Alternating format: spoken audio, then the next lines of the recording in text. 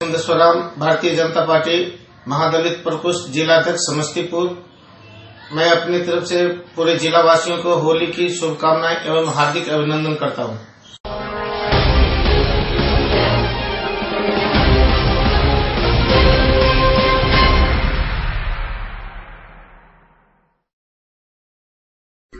स्वर्ण सेना की ओर से पटना स्थित एक हॉल में प्रेस वार्ता का आयोजन किया गया। स्वर्ण सेना की ओर से मंगलवार को पटना के आईएमए हॉल में एक कार्यकर्ता संवाद सह प्रेस वार्ता का आयोजन किया गया।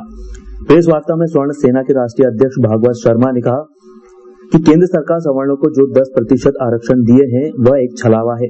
आरक्षण में कोई छूट नहीं दी गई है, न उम्र में, न फॉर्म भरने में छूट दी गई है। इसलिए स्वर्ण समाज इस बार न बीजेपी को वोट देगा और न ही कांग्रेस को। जो दल सवर्णों को आरक्षण का सही लाभ देगा, उसी को स्वर्ण समाज वोट देगा।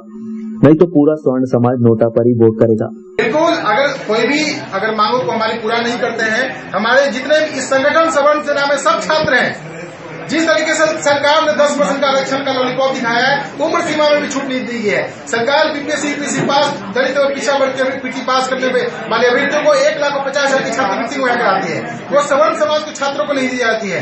दूसरी बात मैं करता हूँ कि बीएड इंजीनियरिंग और पॉलिटेक्निक करने में छात्रों को, दलित और पिछड़ा वर्ग के छात्रों को छात्रवृत्ति देती है जो हमें नहीं देती है।